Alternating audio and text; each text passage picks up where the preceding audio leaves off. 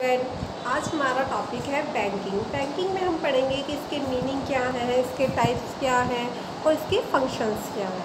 सबसे पहले हम देखते हैं meaning of banking a bank is a financial institution which accept deposit pays interest on predefined rates clear cheques makes loan and often act as an intermediary in financially transactions. It also provides other financial service to its customer bank क्या होता है? एक financial institutions होता है, जो क्या करता है? हमारा जो डिपॉजिट होता है, हमारी जो जमा होती है, उसको एक्सेप्ट करने का काम करता है। हमें इंटरेस्ट पे करता है, उसके ऊपर आप लोग देखते हो कि आप बैंक में अपने अकाउंट्स खुलवाते हो। आपको पता है कि आप कई टाइप्स के अकाउंट्स खुलवाते हो, जैसे कि आप लोगों के यहाँ पे करंट अकाउंट होता है सेविंग अकाउंट्स होता है। तो आप जब उनमें क्या करते हो, अपना पैसा जमा करते हो तो उसके बदले में आपको क्या मिलता है? रेट ऑफ़ इंटरेस्ट मिलता है। आप अपने जो चेक्स होते हैं, उनको क्लियर कराने का काम भी कहाँ से करते हैं? बैंक से करते हैं। जो हमारे लोन होते हैं गोल्ड लोन हो सकता है, वो आप लोगों का लैंड लोन हो सकता है, वो आपका एजुकेशन लोन हो सकता है। कोई भी एक्सेट्रा लोन जो होते हैं, वो लोन हमें कहाँ से मिलते हैं? बैंक के थ्रू मिलते हैं। And often acts at in intermediately in financial transaction और जो हमारे कुछ फाइनेंस से रिलेटेड हमारे ट्रांजेक्शन्स होते हैं, उन सब ट्रांजेक्शन्स को करने का काम क्या करता है? बैंक करता है। बल्कि it also provides other financial services to its customer और इसके अलावा ये अपने जो कस्टमर होते हैं, उनको अदर फाइनेंशियल सर्विसेज़ भी प्रोवाइड करने का काम करते हैं। तो सबसे पहले अगर हम बात करें बैंक की तो बैंक शब्द हमारा क्या है? काफ़ी पुराना शब्द है। इस शब्द की जो उत्पत्ति हुई थी, वो कहाँ से हुई थी? इटली के बैंकों या बैंकस या बैंक्यू शब्दों से हुई है। तीन शब्द है बैंको कह सकते हैं आप उसको बैंक्यू कह सकते हैं आप उसको, ठीक है? बैंकस कह सकते हैं। इन सभी का अर्थ जो होता है, एक तरीके से बेंच से होता है। जो इनका मीनिंग लगाया जाता है, वो किससे लगाया जाता है? बेंच से लगाया जाता है। इस संदर्भ में कहा जा सकता है कि इटली के सराफा या महाजन बाज़ारों में बेंचों पर बैठकर अपने लेन देन के व्यापार किए जाते थे तथा उनमें से किसी व्यापार का बंद हो जाने, अर्थात असफल हो जाने पर उसकी बेंच को तोड़ दिया जाता था। हम उनमें क्या करते थे? ट्रांजेक्शन्स करते थे और वो ट्रांजेक्शन्स क्या होते थे? यदि हमारे हो जाते थे तो हम क्या करते थे, जो बेंच होती थी, उसको तोड़ दिया जाता था। तथा उनमें से किसी प्रकार का व्यापार बंद हो जाने पर, अर्थात असफल हो जाने पर बैंक शब्द की उत्पत्ति हुई है। बैंक आप तो आजकल देखते हो कि बैंक वर्ड यूज़ होता है। वो वैसे अगर हम नॉर्मली बात करें तो कोई व्यक्ति क्या होता है, जब वो अपनी जो सर्विसेज़ होती है, उनको क्या कर पाता है पेड नहीं कर पाता है तो उस कंडीशन में मान लीजिए उसने किसी से लोन लिया है, उस लोन को वो पेड नहीं कर पाया तो उसको क्या करता है बैंक घोषित कर दिया जाता है। ठीक है तो ये सारी चीज़ें इसके लिए बहुत ज़्यादा ज़रूरी है, जो हमें देखने के लिए मिलती हैं। फिर क्या है, एक अन्य विचारधारा के अनुसार इटली में जो व्यापार घर है, प्रारंभिक बैंकिंग का कार्य करते थे उनको हम क्या कहते थे? ब्रांचेस या ब्रांचर कहा जाता था। क्या नाम दिया जाता था उनको? ब्रांचेस या ब्रांचर का नाम दिया जाता था। अतः बैंक शब्द की उत्पत्ति क्या हुई है? इन्हीं कुछ जो शब्द है, जो वर्ड्स हैं, उन्हीं के थ्रू ही है। इस प्रकार कुछ विद्वान फ्रेंच भाषा के बैंक शब्द को बैंकर के नाम से भी जानते हैं।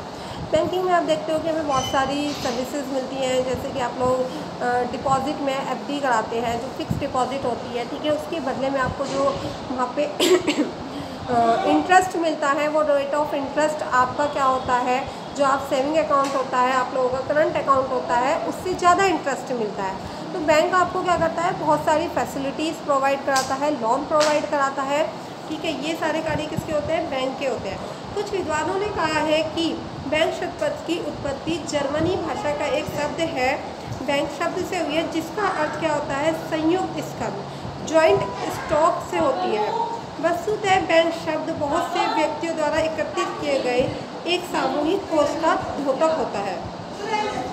इस प्रकार हम क्या कह सकते हैं कि बैंकिंग में हम बहुत सारी चीज़ें हमें देखने के लिए मिलती हैं, जिसके द्वारा हमें क्या होता है, बहुत सारे बेनिफिट्स होते हैं। अब हम क्या पढ़ेंगे? डेफिनेशंस हैं कुछ।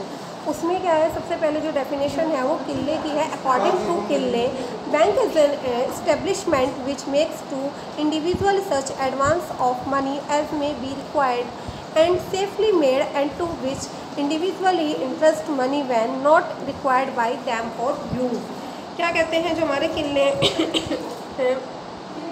क्योंकि अलग अलग राइटर्स क्या होते हैं, इसको अलग अलग टाइप से। बैंक एक ऐसी संस्था है, एक ऐसा ऑर्गेनाइजेशन है जो हमारी क्या होता है सेफ्टी जो होती है, उसको ध्यान में रखते हुए ऐसे जो कुछ व्यक्ति होते हैं, ऐसे कुछ पर्सनस होते हैं, उनको लोन प्रोवाइड करने का वर्क करता है, जिनकी उन्हें क्या होती है नीड होती है। तो बैंक क्या होता है, एक ऐसी ऑर्गेनाइजेशन एक ऐसी संस्था है जो ऐसे व्यक्तियों को जो मनी होती है, वो उधार देते हैं, जिन्हें उनकी आवश्यकता होती है। जैसे कि जो बच्चे पढ़ते हैं, उनकी इतनी इनकम नहीं होती उनके फादर की कि वो क्या कर सके, उन्हें अच्छी एजुकेशन दिला सके। तो बैंक उनको क्या करता है? एजुकेशन लोन प्रोवाइड करता है।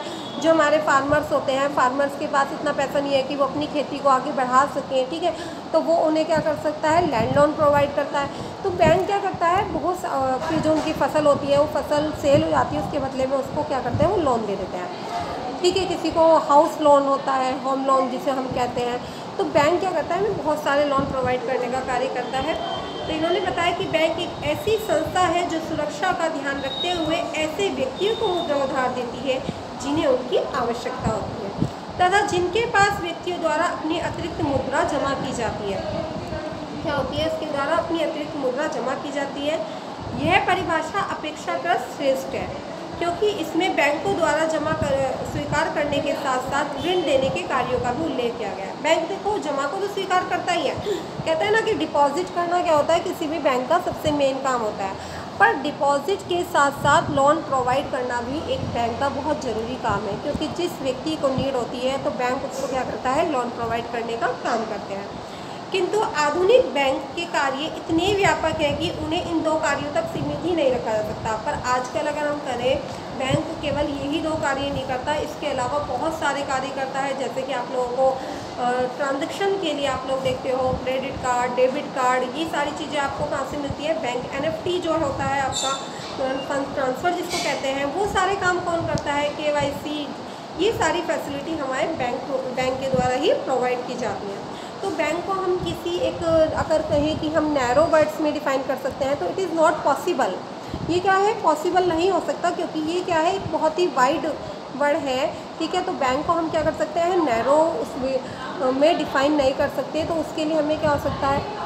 एक बहुत ज़्यादा बड़ी मात्रा में इसको हमें डिफ़ाइन डिफ़ाइन करना पड़ सकता है, ठीक है? तो आपको ये सारी चीज़ें बहुत ध्यान से याद रखनी है, समझनी है। ठीक है, फिर हमारे एक राइटर्स हैं अगर हम बात करते हैं कि हमारे जो है, इंग्लैंड के एक बिल्स ऑफ़ एक्सचेंज एक्ट आया, उसमें क्या बताया? है कि banker includes any body of person whether incorporated or not who carry on the business of banking ये क्या करता है हमारे यहाँ पे?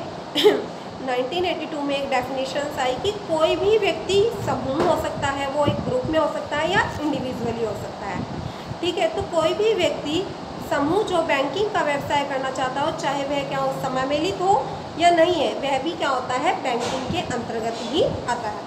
फिर अगर हम बात करते हैं, हमारा सेक्शन फाइव है क्राउथर क्राउथर का नाम आपने सुना होगा इकोनॉमिक्स में बहुत ज़्यादा फ़ेमस है। हमारे राइटर क्राउथर ने अपनी डेफिनेशन में क्या डिफाइन किया है? A banker is a dealer in debts वो क्या करता है? एक डीलर होता है जो डेप्स करता है। His own and other peoples the banker business in then to take the debts of other people offer his own in exchange and thereby to create money ये क्या कहते हैं?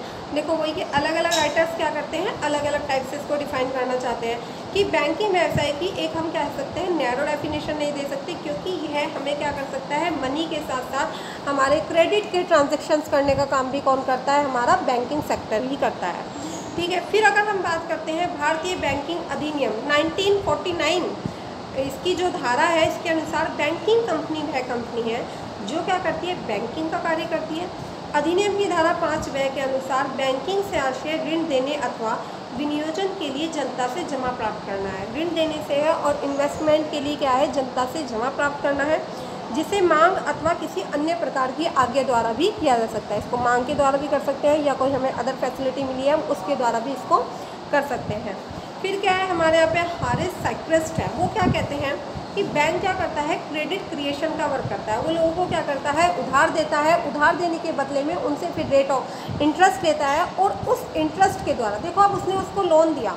तो लोन देने के बदले में वो उसको क्या देगा प्रिंसिपल देगा। प्रिंसिपल के साथ साथ वो उसको इंटरेस्ट भी पेड करेगा। तो जब उसने उसको प्रिंसिपल दिया और उसके साथ साथ उसने रेट ऑफ़ इंटरेस्ट दिया तो उसका क्या हुआ? जो उसने क्रेडिट दिया था, जो उधार दिया था, उससे क्या होगा? क्रेडिट क्रिएशन क्या हुआ? साथ का निर्माण हुआ और उसकी जो वहाँ की मुद्रा कह सकते हैं आप एक तरीके से, वो क्या होती है? बढ़नी स्टार्ट हो जाती है। थैंक यू आज के लिए इतना ही।